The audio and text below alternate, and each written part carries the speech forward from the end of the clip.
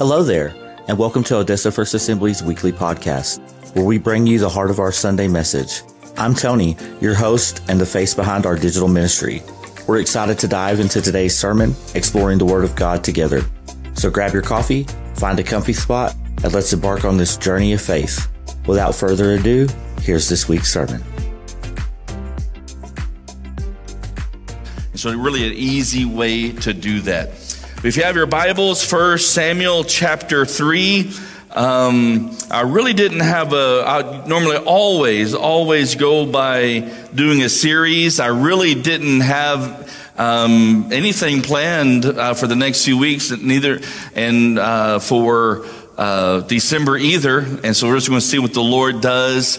Um, in the in the coming weeks, we're also going to be talking more about our 21 days of prayer and fasting. We always take 21 days during January for a time of prayer and fasting. Um, and I think more and more have just been involved with that every year. And it's just been, uh, it, it, just, uh, it's exciting. It's exciting to hear from the Lord and to seek the Lord and um, kind of push aside our agenda just for a few days and allow the Lord to speak to us and minister to us and give us direction.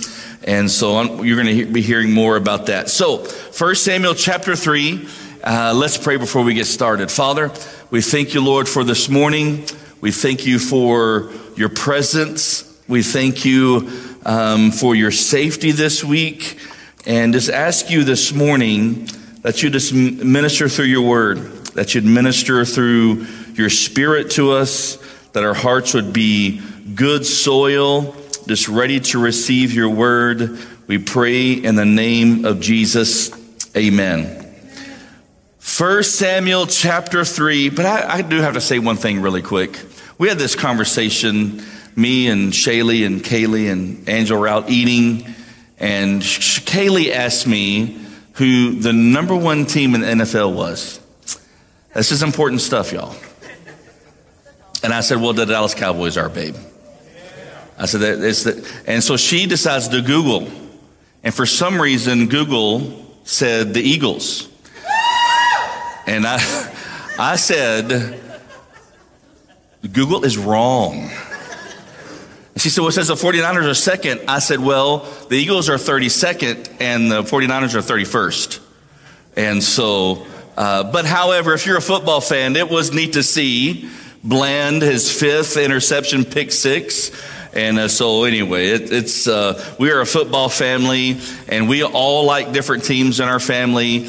And the living room um, Saturday, Angela's rooting for Tech. Chase is rooting for Texas. I don't know either one of them get that, but anyway, pray for them. And so, uh, but for it, let's get to business. First Samuel chapter three. Let's read it together. Now the boy Samuel was ministering to the Lord in the presence of Eli. And the word of the Lord was rare in those days. There was no frequent vision. At the time, Eli, whose eyesight had begun to grow dim so that he could not see, was lying down in his own place. The lamp of God had not yet gone out, and Samuel was lying down in the temple of the Lord where the ark of God was. Then the Lord called to Samuel and said to him, Here I am, and ran to Eli and said, Here I am, for you called me. But he said, I did not call Go lie down again. So he went to lie down. And the Lord called again Samuel. And Samuel rose and went to Eli and said, Here I am, for you called me. But he said, I did not call. My son, lie down again. Now Samuel did not yet know the Lord, or the word of the Lord had not yet been revealed to him. And the Lord called to Samuel again a third time. And he rose and went to Eli and said, Here I am, for the for you called me. Then Eli perceived the Lord was calling the boy. Therefore Eli said to Samuel, Go lie down, and if he calls you, you shall say, Speak, Lord, for your servant hears. So Samuel went to lie down in his place, and the Lord came and stood, calling at as other times, Samuel, Samuel. And Samuel said, Speak, for your servant hears. Such a wonderful story account we see about young Samuel, the prophet Samuel, in scripture. I have decided after this week, I have decided that there is probably going to be a time in my life that uh, I'm going to have to ha- possibly have hearing aids. I've been in several homes and the TV's really loud and a lot of huzz and whats and, um, well, from my dad and my father-in-law. And uh, I thought, you know what? When I when I when I get to the age, I, I am just gonna. I, I, know they cost a lot of money, but uh, I'm I'm gonna get hearing aids. And uh, but you know, and I know that now maybe some of us, it's it's just not me. I know that the the run, you know, kind of the joke is is that you know the husband, uh, me in the recliner watching football may have selective hearing. But what I have found, that's just not a male issue. I have found that wives say a lot of huh too. Matter of fact, I don't know if you know this, but the most common four letter word with married couples is what? There was these three friends, they were all wearing hearing aids and they were walking down the street and one of them said to the other, "Oh, it's windy today, isn't it?" The other one said, "No, it's Thursday." The third one said, "Yes, I'm hungry. Let's go get something to eat." But I'll, there is something I have discovered is that there is no better hearing aid in life than that of the Holy Spirit. Part of his mission and job is to help us hear of what the Lord is saying. Matter of fact, when you go through scripture, you see John chapter 16 that he takes from this con- the conversation that's happening between the Father and Jesus. And the scripture says he makes it known to us. He speaks to us. The Bible says in first uh, Corinthians chapter 2 that it's the Holy Spirit that searches the depths of God, but the things that God has prepared for those who love Him, it's the Holy Spirit that reveals it to them, to us. And we see it all through Scripture. And so I do, I want to talk for a few moments about hearing God. How does God speak to us? Hearing God's voice. But to, to, really lay the groundwork, the obvious thing is, is that God speaks to us through His Word, through His written Word. We have this precious book, collection of books called the Bible. And it's 66 books written over 1,500 years, 40 different authors, three different languages, different continents, and yet we have this book that has been inspired by the Holy Spirit. I'm going to tell you, if you want to hear the Lord speak to you, He's going to speak to you through His Word. I mean, the Bible tells us, Second Timothy chapter 3, verse 16, all scripture is breathed out by God and profitable for teaching, for reproof, correction, training in righteousness, that the man of God, that every person may be made complete. You are made complete through what God has written to us in His Word. I mean, I, I, we cannot stress that enough. Isaiah 55 tells us that his word that is sent out, that comes out of his mouth, it's going to accomplish what it's sent out to do, and it is not going to return void. God's word contains everything that we need to know, that we should know, that we have to know. It expresses us to, to, to us who God is. It, it expresses to us our mission and purpose in life. I mean, God, there's nothing more important than God's word. But there's a second thing that God does, and He speaks to our spirits. Now, to be redundant on purpose is that God is never going to speak something to your heart that's not written in His Word. Everything that God speaks to you into your spirit, whatever impression He gives you, God's word is going to line up with that. I mean, there's, there's a lot of us in life, a lot of people, you know, they, they, they really make excuses for bad choices and blame God. And it's like, I know that God never told you that because that's opposite of what God's word says. We need to know that God does speak to us. He does impress upon us. I think a beautiful promise. It's, and even looking at it, it's in, it's in context, but this is a, this is a special promise. Isaiah chapter 30, verse 21. And your ears shall hear a word behind you. I love how Isaiah writes this. Your ears shall hear a word behind you, meaning what? That God puts these impressions in our heart, into our spirit, guiding us and leading us. And he says, this is the way to walk in. And when you turn to the right or when you turn to the left, but it's, it's the voice of the Lord giving us this direction, these impressions in life. And yes, God uses people.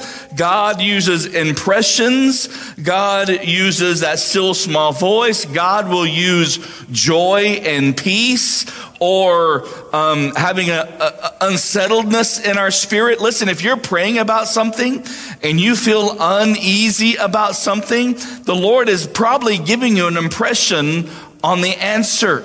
If you're trying to make a decision and you feel complete joy and peace and, and there's no burden or weight involved with it, then the Lord is giving you an impression by the Holy Spirit. But the God will always, what he speaks to us, he will line up with his word. And here we have Samuel, who's just a boy. He's living, you know, he was dedicated to the Lord by Hannah and, and brought to the temple. And we read in 1 Samuel verses 1 and 2, and I, I want to really want to point these things out. It says, Now the boy, Samuel, what was he doing? He was ministering to the Lord in the presence of Eli. And it also tells us the word of the Lord was rare. That wasn't anybody's fault except for Eli. Eli was the high priest. It was, it was, and we don't have time to go into all of that, but in those days, there was no frequent vision. So Samuel's a young boy in a time where the word of the Lord is rare. There's not frequent vision. But I think that uh, verse 2 kind of illustrates why that was. Why was the word of the Lord rare? Why was there wasn't these God given these impressions or speaking or or given the fresh revelation or vision? We see in verse 2 that at the time Eli, whose eyesight had begun to grow dim, I don't think that was just a physical affliction. I think it very well was a, a spiritual affliction as well so that he could not see. And look what it says. He was lying down in his own place. And we see a difference between Samuel and Eli, that Eli was laying down in his own place, but where was Samuel? Samuel was with the presence of the Lord in the, near the ark of the Lord, and he was ministering to the Lord. Do you, do you see the difference? And so I'm going to tell you to hear God speaks to you Something we need to realize is that position limits distraction. Or, I mean, we could say it more kind of in, in a negative connotation and say that uh, uh, uh, position increases distraction. And we've got to really make the choice of where we're going to live. If you want to hear God, I'm going to tell you something, then you need to get close to God. 1 Samuel 3 3, look at what it says. The lamp of God had not gone out, and so hope has not gone yet. Samuel was lying down in the temple where the ark of God was. What was the ark of God? The ark of God was the representation of God's presence. And that's exactly where Samuel was. And Samuel was in that place and the Lord was speaking to Samuel. I'm going to tell you, it is a big deal where you are in your relationship with God. And I'm going to give you a, a word, and a very important word. It's not in your notes, but you need to remember this. The, the, it's, it's an extremely important word. And what that word is reconciliation. You see, there is a chasm because of the sinfulness of man that separates us from God. The Bible says that all fall short of the glory of God. That's not the gospel according to Pastor Todd. That's it found in Romans. And what we see is, is that because that Adam and Eve, they fell in the garden, it brought sin into the world and has separated man from God in relationship. But God and his infinite wisdom and his infinite plan and his infinite power provided his one and only son to become a sacrifice to shed his blood that we could be completely reconciled with the Father.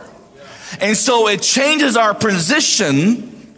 Come on, somebody. It changes our position from separated from God to reconciled with God.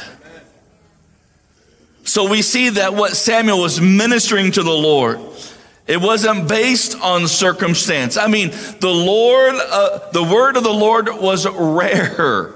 There was no frequent vision being given, but yet Samuel still was ministering to the Lord. I want you to think about that for a second. Eli was his own place, but Samuel where, was where God's presence was represented. And so proximity to God will limit distractions. When the closer you get, and now listen to me.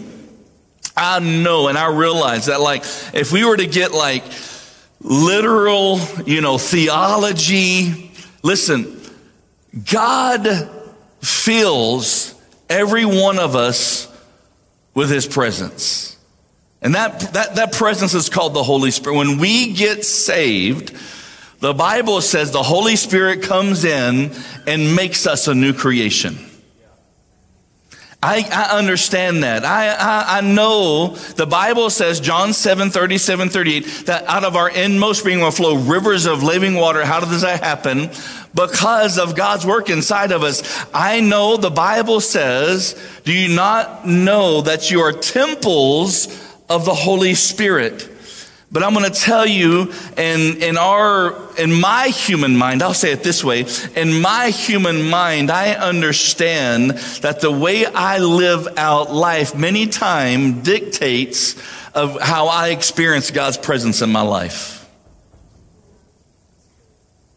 Distractions will limit what we hear from the Lord. We can, you can work too much. You can allow life situations deafen your spirit, your voice, your ears to the word of the Lord. Circumstances. I, this one, I'm, you know, I'm going to turn around. I'm out, I just cover my eyes. Devices. Phones and iPads and computers and TVs. Amen. Hobbies. I mean, the list can go on and on and on. Whatever keeps us from devotion time from the Lord. And I know sometimes it's difficult, but we have to make that choice. And I listen, I know we've got to guard ourselves against like a, a religious nature, you know, kind of that Pharisaical, you know, uh, you maybe that is a word I just made up, but a Pharisee type style um, view of things. I mean, sometimes it is hard, but I also tell you that the root word of disciple comes from discipline. Listen, every time I pray and read my Bible, I mean, I don't have goosebumps and snot bubbles every single time that I pray. But I know out of relationship with Him, I've got to have those, I've got to have that moment. Every time I read God's word, I don't get these epiphanies and like these, you know, drastic revelations. But I know that it's through His Word how He speaks to Him. And as I take in His Word, His Word will not return void. I mean, we have a lot of static to contend with. But the Bible says, John 14, 17, even the Spirit of truth, talking about the Holy Spirit, whom the world cannot receive, right? Because you've got to get saved to receive the Holy Spirit. Neither sees him nor knows him. You know him, for he dwells with you and will be where? In you. In you. And the Lord places His Spirit inside of us because He wants us in proximity to Him. I, I, feel like I'm teaching and preaching a little better than what I'm getting responded. Thank you. Here's another aspect of hearing God's voice. What was Samuel doing? Samuel was ministering to the Lord. I'm going to give you a very, probably um, in, in our culture today, an unpopular statement. But I'm going to tell you if you want to hear God's voice, God honors serving. God honors serving. Verse 1 Now the boy Samuel was ministering to the Lord in the presence of Eli. Where was he serving? He was serving in the presence of the Lord. If you want to hear God's voice, then step out and do something for God. I mean, it's hard to go anywhere in a parked car. Right? I mean, yeah, I mean, where are you going to go? I mean, you're in the car, it's in park, where are you going to go? You're not going to go anywhere. You've got to start the car, you've got to put it in drive, and you've got to press that. And, and I, it seems like, I, it, well, anyway, I'm not going to get a soapbox about Odessa driving. But we have this pedal to the right, this long pedal that we press, and we go, we move. Get up and do something from the Lord if you feel like the heavens are brass. If you feel like your prayers are just bouncing off the ceiling, then come out of that cave and do something for the Lord. I will just about guarantee you that God will speak to you. Number two is this. This is a big one. Put God's agenda over yours. Put God's agenda over yours. Eli was where? Eli was in his own place. He was about his own agenda, doing his own thing. And it seems to me that's maybe one of the reasons why the word of the Lord was rare. That God wasn't speaking to Eli or to a lot of people. That there wasn't fresh vision happening so to hear from the Lord, it starts by having a neutral heart. Here is something I've discovered. If I want something bad enough, and so I go to the Lord in prayer and I'll say, God, I want this to happen. I want this. And sometimes one or two things happens. One is I hear nothing in return or two, I hear no. But I'll ask again. And I'll keep asking, and I'll keep asking, and I'll keep asking, and I'll keep asking. And I, I there's a, there's something that uh, I, I, tell a lot of leaders around me, and that we raise up is, is is simply this: don't know, don't go. And too many people go when God's not speaking anything. I'm giving you some nuggets this morning. Are, are y'all, are, are you still like in turkey comatose? Are you okay? Don't know, don't go. If God is not saying anything on the matter, then don't force the matter. But don't know, but here's what I have found that sometimes, I mean, it's almost like God says, I've told you no. I haven't answered you for a reason, but if you really want it, fine. And then the next prayer is, God, why'd you do this to me? And it's more of, why didn't you listen to me? We have to have a neutral heart. Whenever you're praying for direction or praying about something, and yes, the scripture tells us, yes, that God gives us the desires of our heart. But just, let me just give you a little, like a little newsflash. That doesn't mean everything your heart desires. Where God gives us the desires of our heart is because we have been in proximity with Him. We've been in communion with the Holy Spirit. He's been showing us things out of His Word. He's been putting impressions upon our heart. And we get in line with what God wants. When God gives us the desires of our heart, listen to me. It's not about God getting on our page to give us whatever we want. But it's about us being on his page. But listen to me. God, if you want God to speak to you, you've got to have a neutral heart. if, if you want God's answer to be yes, bad enough, I'm going to tell you his answer will be yes. And usually what happens is we reap the whirlwind. Right? Has anybody ever been there and experienced that? Eli was, or Samuel was serving before the Lord with no agenda. No agenda. And you know, and the reality is there are plenty of competing voices. But Samuel was serving the Lord. He was in proximity to the Lord. Eli was his own place. I want you to see 1 Samuel chapter 3 and verse 9.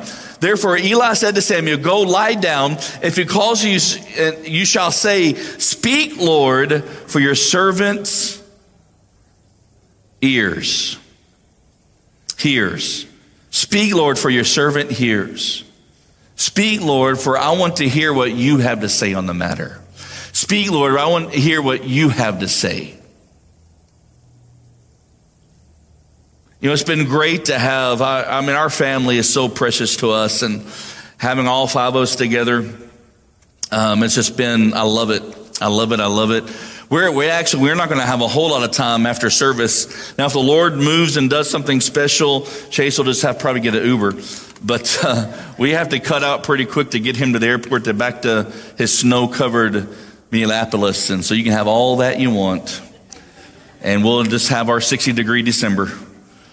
Um, but, you know, there's something, a trait about Chase is that uh, Chase is all in wherever he is. We've always said about this Chase, about this about Chase. And so here's kind of a conversation sometimes what happens at home. I don't get to use him for illustrations much anymore. And so he's here today. And don't worry, Shaylee, next time will be your turn. And so you're trying to have a conversation with Chase. And it's like, you know, so me saying, Chase, what do you want to watch? Chase, what do you want to watch? No answer. Chase, what do you want to watch? No answer. Me with increasing volume. Chase, what do you want to watch? No answer. Me with even more increasing volume. Has anybody ever, has anybody ever gone through this cycle? With me with a little more increasing volume. Chase, what do you want to watch? Than me with an extremely multiplied increasing volume. Chase, what do you want to watch? Dad, quit yelling.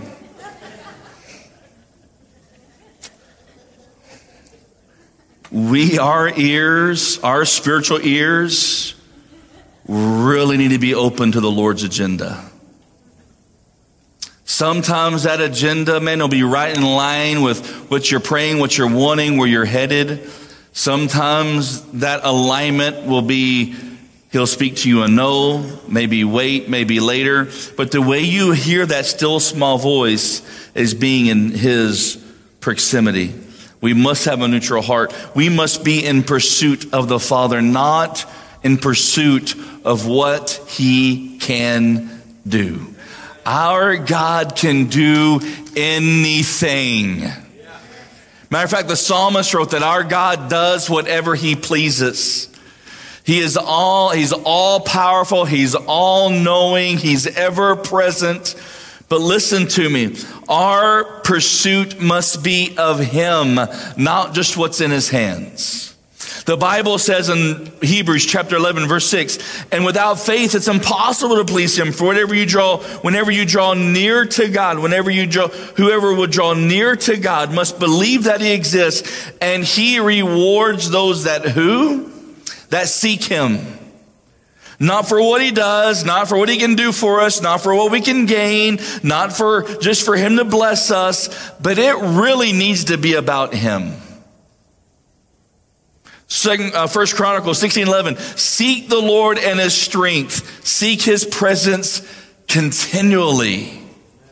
Number three is this we must be ready to walk in obedience.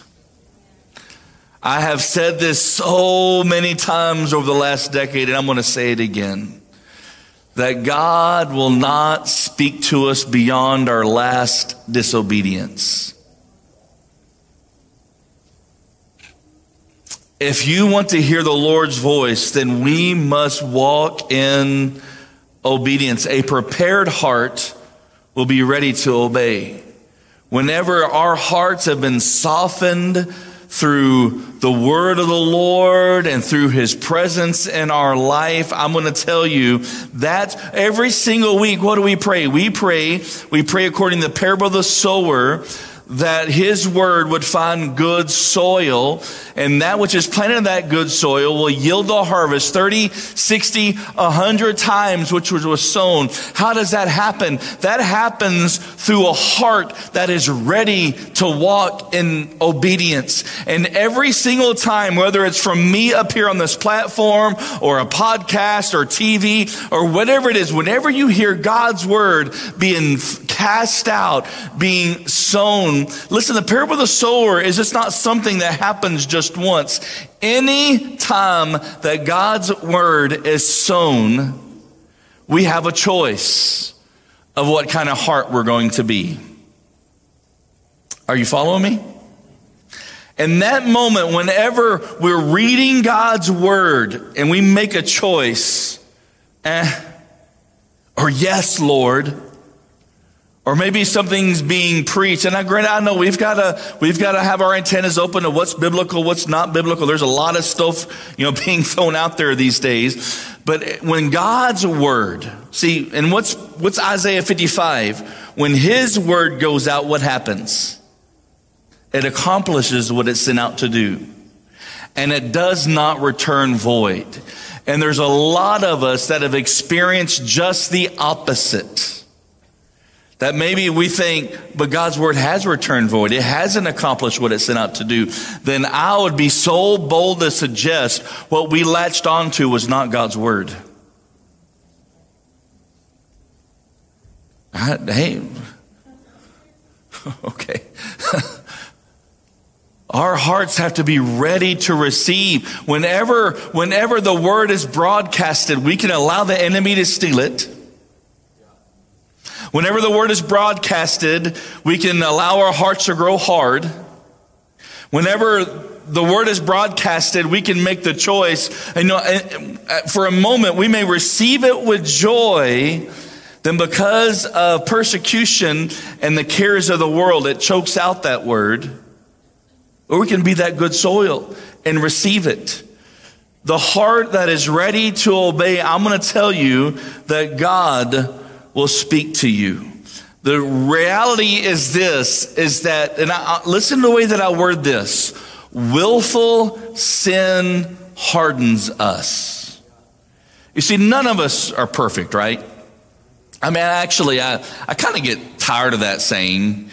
I mean, it, you know, I mean, none of us are. We're, we're, we're all human. We all fall short. We all make mistakes. You know, there are times in life where you maybe succumb to a sin, you know, for, for whatever reason, but it doesn't necessarily mean that's like you are making a choice that you are going to rebel against what God has for you. There is a difference between when I just fall short and I mess up sometimes, whether by deed or attitude, versus I am choosing to walk in disobedience to the Lord. The longer we walk in disobedience to the Lord, the harder our heart becomes. Hebrews chapter 3 verse 12. Take care, brothers, lest there be in, in, in any of you an evil, unbelieving heart leading you to fall away from the living God. I mean, boy, boy, the writer of Hebrews was giving us straight, wasn't he? Verse 13, but exhort one another every day, as long as it's called today, listen, that none of you may be hardened by the deceitfulness of sin. What does willful sin do in your life? It hardens you. And that's why people get confused and, and, and misunderstand and, and misinterpret God's word and what he's impressing upon our hearts. I mean, when you look at 1 Samuel, chapter 3 in Samuel, something happened in this moment. And through the rest of Samuel's life, no matter what God told him to say, he said.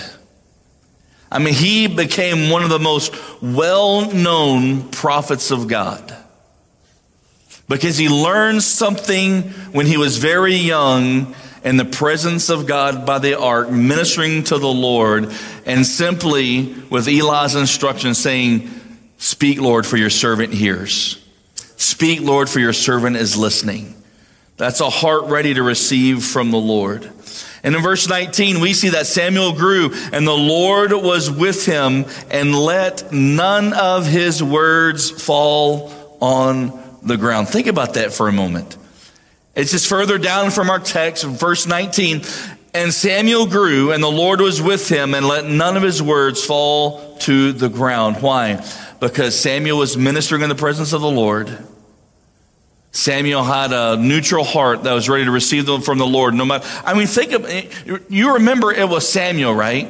It was Samuel, you know, Israel was, was crying out for a king and the Lord was trying to tell him, listen, listen, if you really want a, and it's one of those situations where the Lord is trying to speak to him and say, if you really want a king, I'm going to give you a king. That's not what's best for you. That's not what I want for you. But if you want a king, I hear you. And I'm going to let you have your way. Why? Because Israel's heart was not neutral. It wanted for itself what all the nations around it had, but God had chosen Israel to be a different kind of nation. Are you following me? And so the nation's crying out, we want a king. And God's like, listen, if you get a king, he's going to take your money, he's going to take your land, and he's going to take your sons and go to war. God, we want a king. And so they found Saul and they appointed Saul. And Saul became a king. And then eventually Saul messed up and he did everything the Lord told him what they're going to do. And eventually Saul messed up and God said, okay, your, your lineage ends with you in rule. There is, you know, none of your offspring are going to be kings. I'm going to look for another. And so God used Samuel. And what did Samuel do? Samuel went to a man's house and he said, Hey, bring me your sons. And so there are all these, you know, big strapping guys, you know, these sons and, and, and Jesse brings them in and he's like, nope, not him. Nope, not him. And he went through all of his sons. And after they all passed by, he was like, is there not one more? And he's like, yeah, there's a, I got a kid on the back 40, but surely not him. He's like, nope, that's who the Lord wants. I mean, think about it. How, how was he so in tune with the Lord wanted? Because he had that neutral heart. He was in proximity with the Lord. He had grown up in this, this stance of saying, speak, Lord, to me, regardless if I agree with it, regardless if I think whatever I think, I'm going to go with what you say, God. Amen. The fourth thing is this don't let any voice compete with God's voice. Don't let any voice compete with God's voice. John chapter 10 and verse 27. John chapter 10 is, is really just has so many rich things in it. I mean, but in verse 27, it says something very simple My sheep hear my voice. And that's the question I think a lot of us come down to. How do we know it's the Lord speaking to us? My sheep hear my voice. I know them. And here's part of the key they follow me. If you want to know if somebody is hearing from the Lord, they're going to be following the Lord. Through my lifetime, through my some 30 years of serving the Lord, I'm going to tell you, in, in my lifetime, I've had quite a few people that have a word for me. Anybody, anybody listening? They had a word for me. And I've had to think to myself, their life does not line up with the principles of Scripture. And so usually when they give me that word, I have this place I put it. It's called file number seven. Now, can God use anybody? He absolutely can use. I mean, He used a donkey and He uses me sometimes, so I know that God can use anybody. I can be pretty stubborn, but listen to me. We allow so much clutter to compete with what Scripture simply says to us how to live life. We let a lot of a lot of stuff being, you know, I mean, I I love redeeming and using social media for the kingdom. I do. I mean, our church, I don't personally, but our church, you know, we, we post segments on TikTok and, and reels and all that kind of stuff. But listen, I'm going to tell you, you should not be getting your doctrine and theology from social media. You need to get it from His Word. Get it from His Word. My sheep know my voice. Listen, those that know Jesus, those that know Jesus know his voice. Those that know Jesus know his voice. But where we go into battle and struggle is this, right? We may sense something or feel something or, or, or feel like the Lord is impressing upon us and we go through this battle. Now let me know if you have this battle because I have this battle. I mean, usually what happens when I feel the Lord has spoken to me about something, I was like, ah, you know, I think that's just me. Has anybody ever said that? I mean, sometimes I think to myself, ah, man, I, you know, I did have Bubba's 33 pizza yesterday, which was so good. It was so good. I hadn't had pizza in a long time. It was so good. But pizza does not like me. I like, I love pizza. But pizza hates my guts, literally. And I pay for it every single time. And maybe I feel like the Lord speak to me and I'm like, ah, that's probably just Bubba's. That's, that's probably what that is. Listen, you're going to know the Lord is speaking to you because one, what? What is it going to do? It's going to line up with His Word. It's going to build His kingdom. It's going to bring the gospel. It's going to spread the gospel. It's going to do good things. Life is going to come out of you. But the reason why so many times I think we, we get in this place where we don't know if it's the Lord or us, I'm going to give you the test. One way, I don't have the scripture for you. I don't have it up there. But if you read Galatians chapter 4, you read a very important passage. You read about a passage. This will also tell you that if you're walking by the Spirit or not walking by the Spirit. But the Bible says in Galatians chapter 4, there was a son born according to the promise, and there was a son born according to the flesh. Do you want to take a guess who those two sons I'm talking about? One was Isaac and one was Ishmael. And remember, there was a promise given to Abraham. And what was that promise? That his offspring they would outnumber you know and the stars of the sky and the sand on the shore. And sarah and abraham got ahead of god and guess what? God let them do it. Right? And they had they had ishmael. And we still see conflict today because of that. And in galatians 4 we see but finally that god honored his promise and Abraham and Sarah had Isaac. And so what happened?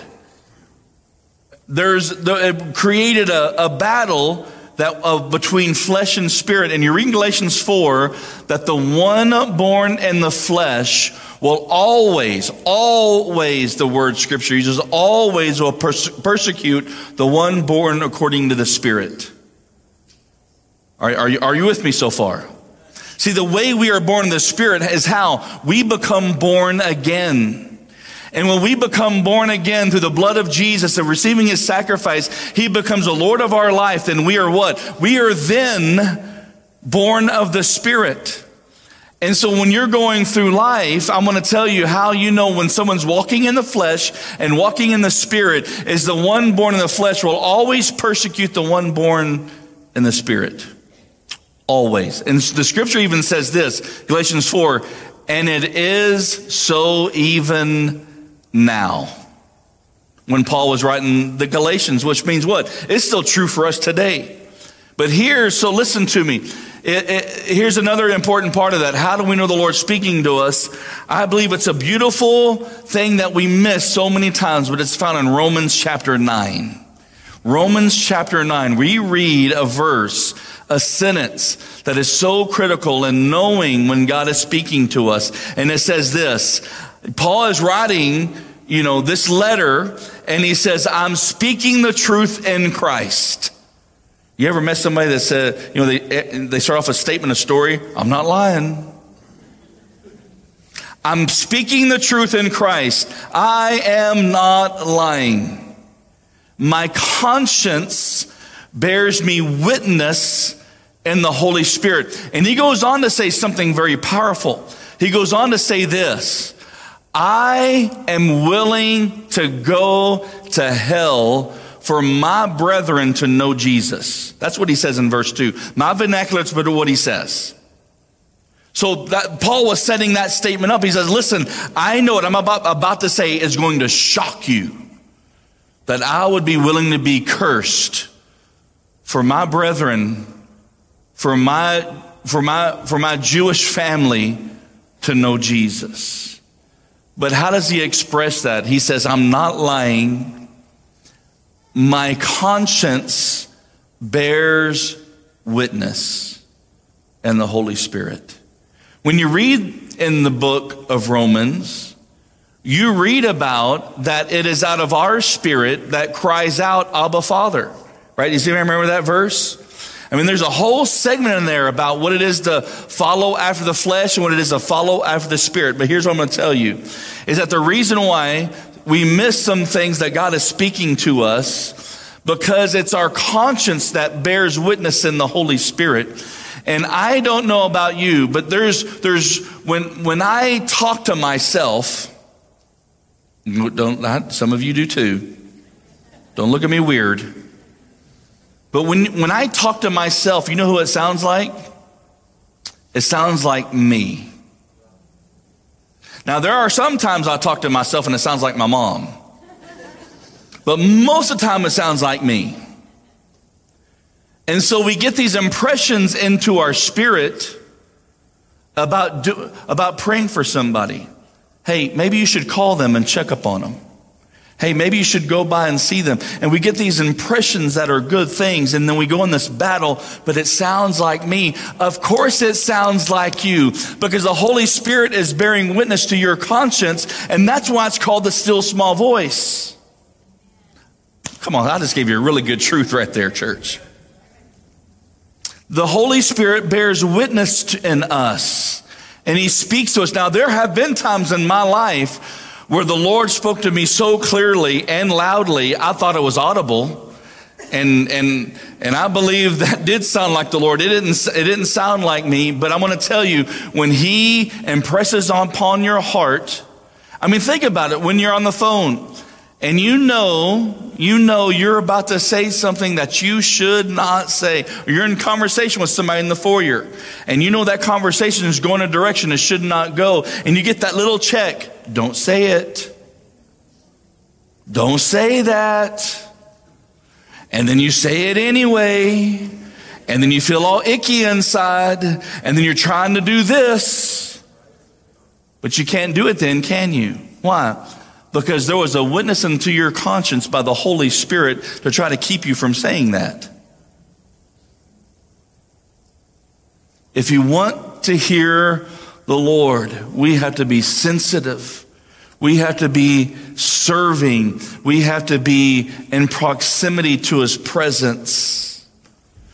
We've, we need to be around the, the people of God. God uses the gifts of the Holy Spirit, prophecy, words of knowledge, words of wisdom, discerning of spirits. He uses all of that in a corporate context.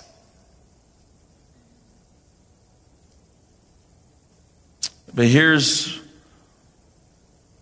I think, the most important thing, the most obvious thing that we miss so many times is the main way, the chief way that God will speak to us is through His written word. And if we're not reading His word that He has sent us, we're not going to hear Him. Because even for the Lord to speak to our hearts and to lead us by His still small voice and impressions, do you know what we need to know? We need to know His word. We know His word. Would you stand with me this morning? Was that okay? Did, did you learn something maybe? Did it help you? I, I really felt this for this morning. And just for a moment, what I'd like you to do this morning is just right where you are to, to close your eyes. I have a, I believe, I, I, I don't ask this because it's necessarily what I want to ask. I ask it because I really believe it's from the Lord.